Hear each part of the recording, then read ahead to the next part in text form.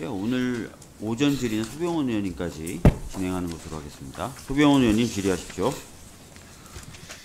네, 너른 거울 경기 광주시 갑 출신 소병원 의원입니다. 장관님, 지난 2월 1일 윤석열 정부가 의료 개혁을 발표한 후, 후로부터 266일 지났습니다. 물론 저는 그날부터가 아니라 전공의 집단 사직서를 제출한 2월 20일부터 의료 대란이 시작되지 않았나 싶은데요. 지금 그 의료 대란 관련해서는 정말 아니 그 의료 개혁이라고 얘기하는 것에 대해서는 정말 국민 건강권과 너무나 밀접하기 때문에 신중히 추직, 추진되어야 된다 이렇게 생각은 하는데 현 정부 같은 경우 이제 밀어붙이기 식으로 그 추진을 한다. 그래서 많이 걱정이 되고 그 과정에서 발생하는 피해가 한두 가지가 아닙니다. 제가 국민들이 어떤 피해나 피해가 발생하고 있고 어떤 혼란 속에 있는지 몇 가지만 한번 골라봤는데요. 전공의 복- 미복귀에 따른 의대 교육 문제가 발생해서 의과대학 교육이 혼란에 빠졌습니다. 지난 7월 26일 의사 국가시험 실기 접수가 마감됐지만 의대생 대다수가 국시를 위한 개인정보 공동대 주소를 거부한 상태죠. 그리고 10월 6일에는 교육부에서 의과 의대 그 교육 과정을 갖다가 6년에서 5년으로 단축한 걸 검토하겠다 해서 많은 국민들이 수의대 6년인데 의대 5년이면 사람 목숨이 개목 개되지만 못하냐는 그런 자조 섞인 얘기도 나왔습니다. 두 번째는 빅5 병원, 그 상급 종합병원 진료 대기 그리고 연기 등이 에, 발생하는 그런 문제가 발생했는데요. 전공의 91%가 수련을 포기한 2월에서 5월까지 국내 병원에서 숨진 환자가 지난해 동기 대비 2,100여 명 증가된 것으로 조사가 됐습니다. 특히 빅5 등 상급 종합병원에서는 전체 진료 인원과 사망 환자가 모두 줄어들었습니다. 바- 또 반대로 종합병원과 병원에서는 진료 이- 인원이 줄어들었음에도 사망 환자는 오히려 늘어났습니다. 아마 전공의가 빠지면서 그 상급 종합병원에 응급 환자들이나 그 생명 유독, 위험한 환자들이 들 가다 보니까 이런 일이 발생하지 않았나 싶고요. 응급의료 공백으로 많은 국민들이 두려워하고 있습니다. 지난 추석 전에는 제발 이번 연휴 기간 아프지 마라 이게 인사가 됐는데 의료대란 시작 후에 그 3월에서 8월까지 병상수 부족, 전문의 부재로 인한 119 구급대 재이송 건수가 1,674건으로 그 전년도 1,225건보다 거의 뭐 400건 정도가 증가했습니다. 지방 의료가 또 붕괴되고 있습니다. 지난해 지방 의료원 35개소 중 33개소 94%가 적자.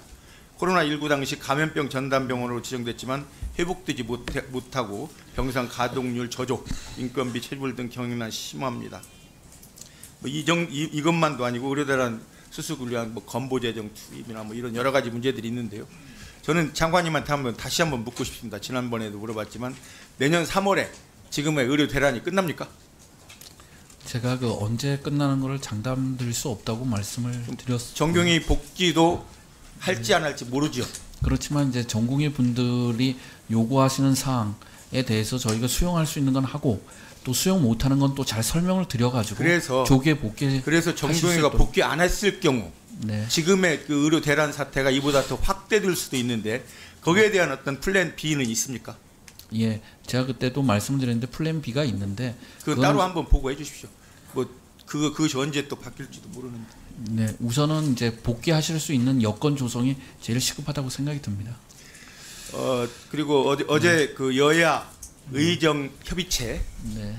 사실 집권 여당의 대표께서 어, 제안을 했고 그리고 그 여야 의정 협의체의 가장 중요한 의제 하나로 2025년 의대 입학 정원을 상정을 의제 안에 올려야 된다고 얘기를 했습니다. 근데 집권 여당의 대표가 그, 그 정도로 그 이야기를 하면서 적극적으로 이 문제를 풀어보겠다는 제안을 하면 그 당연히 받아들여야 될 거라고 생각하는데 저는 그게 무슨 똥꼬집인지 모르겠어요. 2025년 의대 정원 문제는 절대로 손댈 수 없다. 그 뭐 어디 뭐 법으로 정했습니까? 그렇게 손댈 수 없다고? 세상에 그 문제를 저는 이제 지난번에 그 장관님께서 2,000명 정원도 처- 혼자 했다고 그러시고 아마 이번 그 25년도 정원 문제도 올릴 수 없다는 것도 아마 장관님이 결정했다고 하실 것 같은데 우리 국민들 중에 그걸 믿을 사람이 몇이나 되겠습니까? 모두가 용산의 결정이다. 대통령실의 결정이다. 이렇게 생각할 것이라고 생각하는 게 오히려 맞다. 그리고 지금의 의정 갈등이 마치 저는 이렇게 생각됩니다. 지금 그 용산 대통령실이 운전하는 기관차와 의료계가 운전하는 기관, 기관차가 마주보고 달리고 있는데 충돌 직전이다. 그 충돌했을 경우 그 누구의 책임이라고 봐야 되겠습니까? 민간 의료계와 정부 정부를 대신 정부 측을 대표할 수 있는 대통령실이 똑같이 마지막까지 가서 한번 부딪혀서 같이 죽어보자. 누구 책임입니까? 저는 정부 책임이라고 봅니다. 그런 점 때문에 당연히 정부에서는 이 사태를 가볍 물론 가볍게 안 보시겠지만 이 사태에 대한 수습책을 먼저 생각하고 먼저 시, 어, 시도를 해야 된다. 제가 보니까 윤석열 정권 시작한 지 오늘이 898일째 날입니다. 그리고 이제 928일 남았습니다. 보름 후면 반환점 돕니다. 저는 우리 공직자들 어, 물론 이제 정무직 장관님들이나 정무직들은 대통령과 운명을 함께 합니다. 나가면 그만입니다. 근데 남아 있는 공직자들 언제까지 의료 대란에 의료 대란 국민들이 피해에 대해서 언제까지 책임을 질 수 있겠습니까? 나가서 책임지겠습니까? 그래서 저는 이 자리에서 여기에 계시지 않은 공직자들께도 얘기하겠습니다. 지금 정권 이제 그 898일째 날이고 928일 남았는데 정권하고 얘기하지 마세요. 국민과 얘기하십시오. 국민과 이 의료 대란을 어떻게 하면 해결할 것인지 국민과 얘기하시고 골든 타임은 저는 이번 의대 수시 입학 결정하는 날이까지가 골든 타임이다. 저는 이것도 공직자들이 알아주셨으면 좋겠습니다. 일본 동경대에는 1969년도 입학생이 없습니다. 69학번이 없습니다. 그때 전원이 유급됐기 때문에 다만 그 다음에 학생을 뽑으면 학생 교육의 질이 떨어질 것이다. 그래서 뽑질 않았습니다. 전원을 뽑지 않은 나- 경우도 있습니다. 일본 같은 경우. 우리나라는 만약에 이번에 의대 정, 의대 의대 그 증원한 걸 뽑는다면 그 4,500명 그다음에 그 유급하는 3,000명까지 7,500명이 그 교육을 함께 받아야 되겠습니까? 그러면 의대 의대 교육의 질은 땅에 떨어지고 맙니다.